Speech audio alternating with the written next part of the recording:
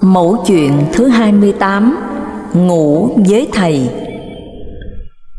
Lúc Đức Thầy lưu trú tại nhà ông Trí Giỏi tại Bạc Liêu, Ông Bảy cùng với đồng đạo đi thăm Thầy.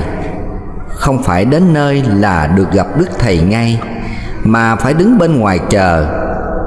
Khi nào người gác cửa gọi mới vào. Ông Bảy biết đó là do nhà cầm quyền Pháp làm khó khăn cho Đức Thầy phải cách xa bổn đạo. Ông thầm niệm Phật và kiên nhẫn đợi chờ. Chợt người gác cửa bước ra, Nhìn một lượt và gọi to. Ai là ông Quảng Diệp Đức Thầy gọi vào. Bước vào trong nhà, Được gặp Đức Thầy. Ông vui mừng vô hạn. Sau khi thăm hỏi, Đức Thầy bảo, Đêm nay Hương Quảng ngủ với Thầy. Ông Bảy rất cảm động khi tiếp nhận đặc ân của thầy dành cho. Đêm đến, khi đi ngủ, ông Bảy chờ Đức Thầy lên giường trước, xong xuôi, ông mới nhẹ nhàng nằm bên cạnh thầy. Đầu của ông nhích xuống vai của Đức Thầy để tỏ lòng tôn kính. Thế là suốt đêm, ông Bảy được ngủ cạnh bên thầy. Không biết thầy đã dặn dò điều gì mà ông Bảy không tiết lộ. Có điều sau đó vài hôm, Đức Thầy được tín đồ phối hợp với hiến binh Nhật giải cứu đưa về Sài Gòn. Ông Bảy có phước duyên hơn chúng ta. Ông được sống vào thời kỳ Đức Thầy mở đạo, được hít thở không khí trong lành của vùng đất Phật, được nghe pháp âm của Đức Thầy, được gần gũi và chiêm ngưỡng Thầy với tấm lòng sùng kính. Đến ngày nay, chúng ta chỉ thấy được giáo pháp của Thầy qua quyển sấm giảng thi văn toàn bộ và chân dung tôn kính. Có lẽ hiểu được nỗi niềm đó, nên Đức Thầy để lại những lời an ủi thật tha thiết. Tình say trong giấc mộng qua mơ màng cũng tưởng như ta bên mình. Tuy là hữu ảnh vô hình, chớ dân lòng tường, sân trình đau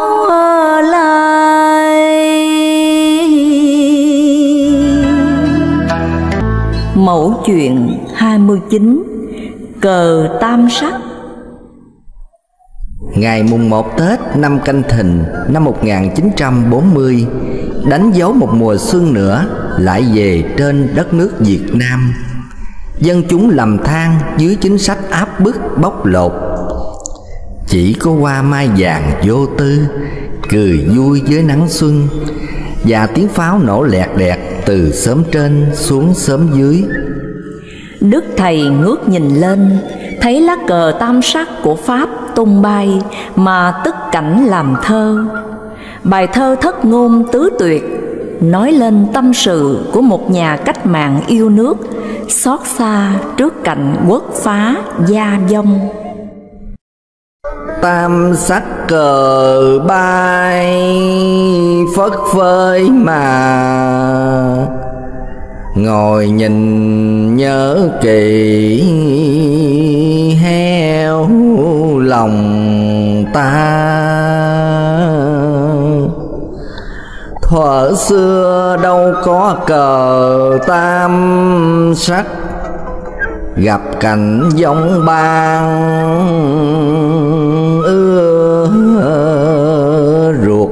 ra Bài thơ cờ tam sắc được các tín đồ chép lại và Đức Thầy cho ông Bảy bản chánh. Ông Bảy tiếp nhận và trân trọng cất giữ kỷ vật Thầy ban cho.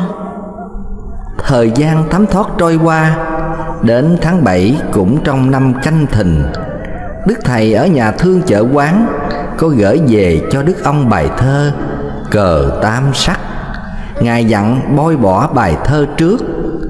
Bài thơ cờ tam sắc mới là tam sắc cờ bay phất phới mà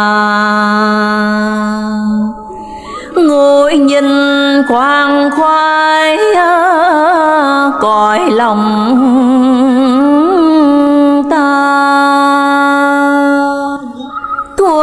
xưa đâu có cờ tam sắc ai hiệp Tây Đông thể ruột ra Trong bổn đạo không ai hiểu Vì sao Đức Thầy dặn bỏ bài thơ trước. Ông Bảy chép lại bài thơ mới Và học thuộc lòng. Một hôm, Ông Bảy lên tổ đình thăm Đức ông, Bất ngờ cai tổng pho đến, Đem vấn đề thi văn của Đức Thầy ra nói chuyện. Muốn làm khó đức ông, cai tổng pho là tay sai đắc lực của pháp lúc bấy giờ. Ông ta nắm quyền hành cả làng hòa hảo. Cai tổng gây sự. Ông cả à thầy tư ngoài việc dạy đạo còn làm chính trị nữa đức ông hỏi lại, thầy cai dựa vào đâu mà nói như vậy? Cai tổng pho gằn giọng, Bộ ông không nghe bài thơ Cờ tam sắc sao? Đức ông ôn tồn bảo, Tôi không nhớ hết bài thơ. Có Hương Quảng Diệp ở đây Sẽ đọc bài thơ cờ tam sắc cho thầy cai nghe. Ông Bảy đứng gần đó Nghe Đức ông bảo, liền bước lại, cất tiếng đọc. Tam sắc cờ bay phất phới mà ngồi nhìn khoan khoái cõi lòng ta. Thua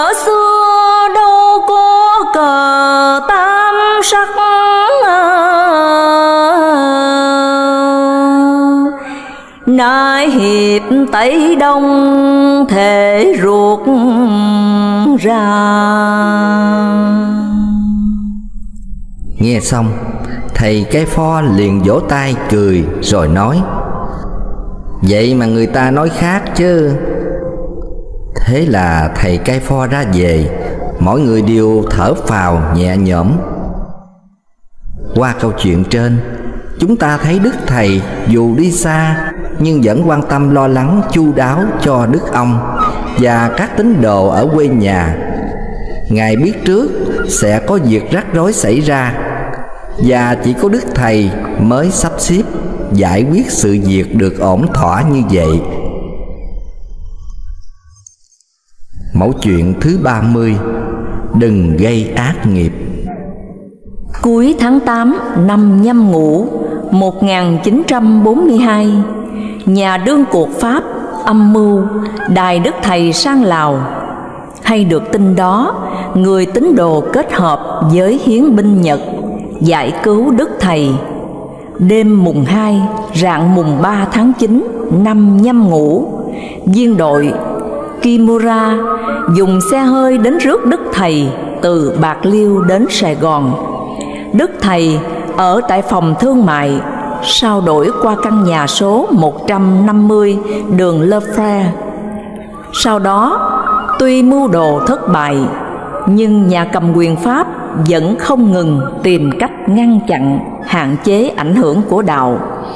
Chúng ra lệnh cho mật thám theo dõi, bắt đài các tín đồ bị tình nghi ở các nơi.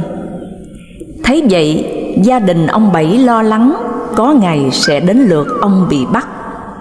Bà cả bảo ông Bảy nên lên Sài Gòn lánh nạn.